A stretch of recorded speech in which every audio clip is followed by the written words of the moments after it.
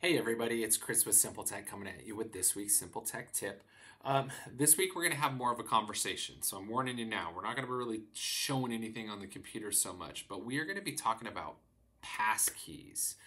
So if you hate passwords, this is the video for you. Um, so passkeys are a new thing that Apple is introducing in macOS Ventura there is a group of individuals or companies, I should say, in the tech industry that kind of came together and realized, hey, passwords are, you know, so 1990s. And we need to find a better way to authenticate users and make passkeys easier for people to utilize, or passwords easier for people to utilize you know, if you talk to anybody in the industry, they're always going to tell you that, you know, every website needs to be a different password. You need to have special characters, capital letters. I'm sure a lot of you that are watching get extremely frustrated with trying to remember passwords. And then they're going to tell you not to write them down, right? So what do you do? So that's why you've had this development of a lot of companies allowing you to save passwords or have a password manager. So like Google Chrome, has a password manager built into it. Safari has a password manager built into it.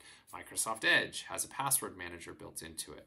LastPass, 1Password, those are password managers. So you can store a lot of your passwords in there. They'll help you save them. They'll be easy for you to look up passwords, all that kind of good stuff. So that is a great place to start if you're one of those individuals that has a lot of different passwords that are not unique but it'll allow you to start making them unique and saving them in a more secure way. Now, passkeys, on the other hand, is a new phenomenon. Now, this is based on industry standards for account authentication. They're easier than passwords and they're actually far more secure. Um, pa- adopting passkeys gives people a simple way and a secure way to sign in, whether it's your applications to websites, um, without actually needing your password. So when you're when you're creating a passkey, it's a one-step account creation, and you're either using Face ID or Touch ID to verify your identity instead of a password. So we all know these fun 10 little digits should be unique to every single one of us, um, unless you have a dot, like a, a direct twin. Uh, I know a few, um, you know, and same with the Face ID, right? It's going to be really hard to bypass that. Somebody's going to have to go through a lot of trouble if they want to get through Face ID. And what those are the ways you authenticate. And passkeys are actually synced with iCloud Keychain.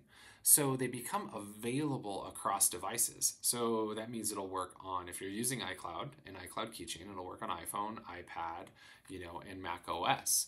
Um, you'll also be able to use your iPhone to stand, sign in to apps and websites on uh, non Apple devices, right, from a verification perspective.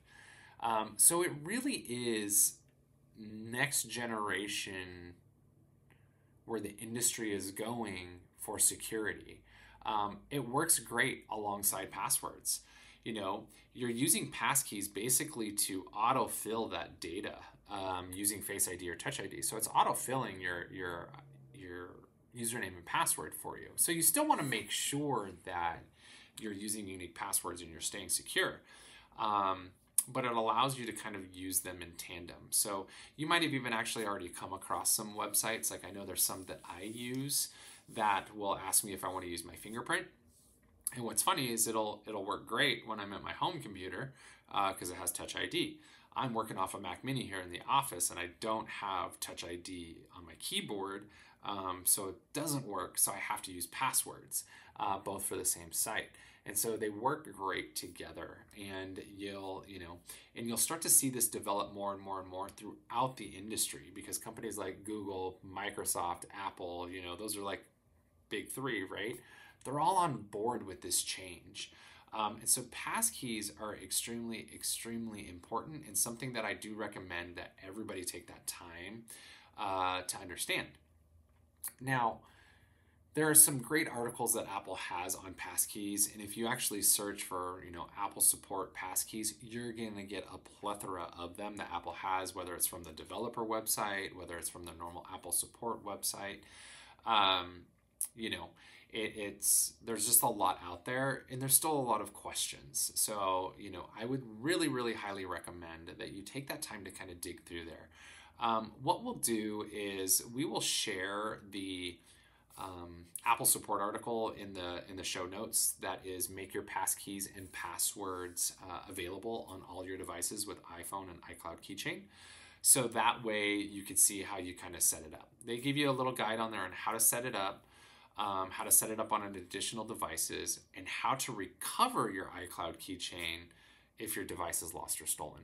Um, and so those are just some great steps to kind of get you started with using passkeys. But something I just really, really want to highlight and that I can't stress enough is that this is going to take a long time to develop. So, as I was talking earlier about having unique passwords for everything, that is still extremely, extremely critical for any user to do. Um, so, implementing iCloud Keychain as a part of creating unique passwords, um, helping you create unique passwords, would be ideal you know so i really would take that time to make sure uh, you are using some sort of password manager and i kind of listed them earlier you could either use your browsers so if you're a big fan of google you can use google chrome you can sync that across your devices using chrome microsoft edge safari uh, icloud keychain is what safari uses you know but if you're an apple user and that's all you got you got macs you got iphones you got ipads dude stick with icloud keychain it's got 256 encryption. You know, you should have two-factor authentication turned on with your Apple ID and your iCloud account. Um, all the steps that you need to be secure. So that's just a brief introduction into passkeys. We'll dig more into password management in future episodes using iCloud Keychain.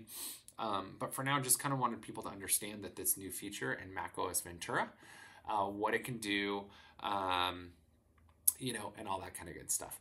So check the show notes if you want to learn more. I'll put all the links to the Apple articles that uh, I have found that really dive into this because it is new. It is something the industry is evolving to, to eliminate the need for always remembering your password. So if you want to make your life a little bit easier, I would think about implementing this. Uh, with that, folks, I just appreciate it. Uh, like, subscribe, like I said.